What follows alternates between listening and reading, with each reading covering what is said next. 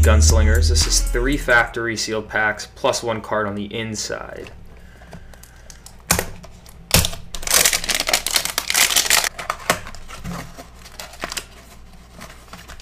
So we'll see what the card is.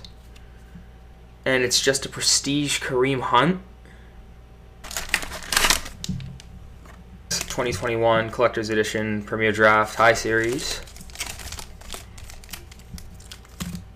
Select Draft Picks 2022 Panini and Sage Artistry Collector's Edition. Artistry Chad Muma, Cole Turner, Christian Harris, Drake London, Jerrion Ealy.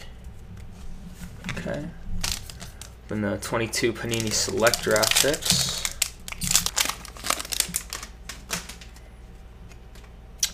Jake Ferguson, Kyle Pitts, Justin Herbert, Eli Manning, and Ricky Williams.